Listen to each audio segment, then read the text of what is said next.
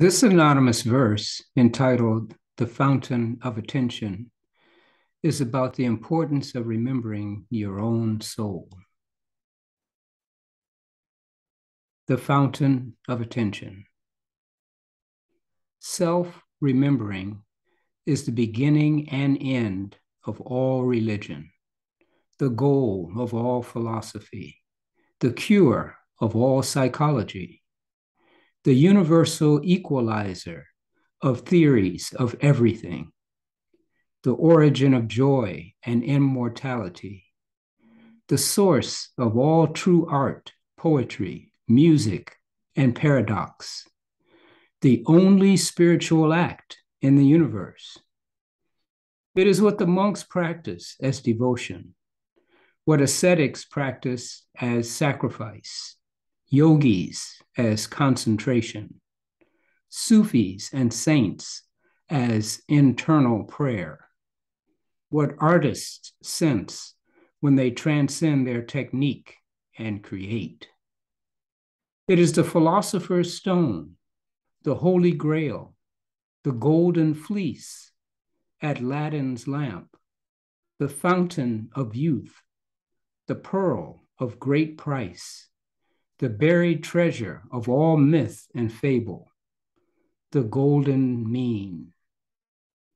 Self remembering is the deliverance promised in every religion moksha, nirvana, the kingdom of heaven, dadirri, the sound of deep calling to deep.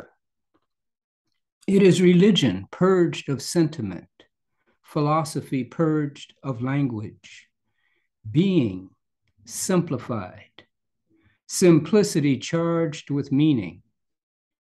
It is the same spiritual act everywhere, the liberation of attention into the living moment.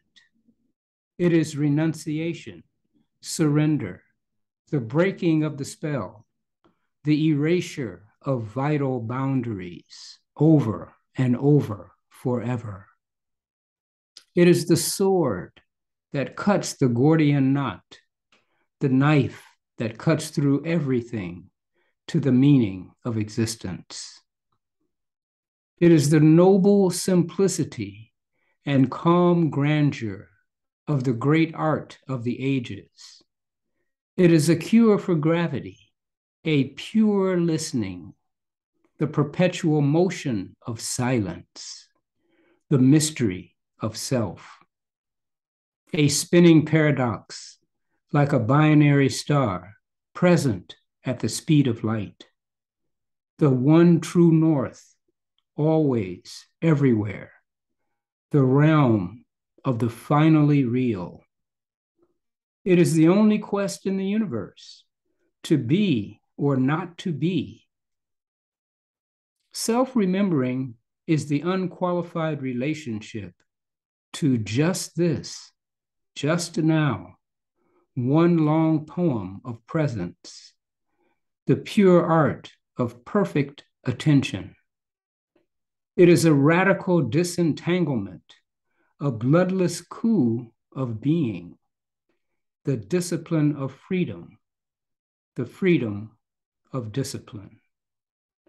It is the separation of the real and the false, the lifting of self out of the current of dreams, being free to see. It is a looking and listening of serene urgency, the attempt to penetrate the present, absorb its contents, and wait with trust for it to reveal the final mystery.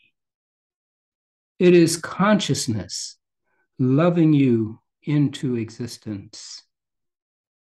Remember your true self, your soul, not separate from the one indivisible, omnipresent God.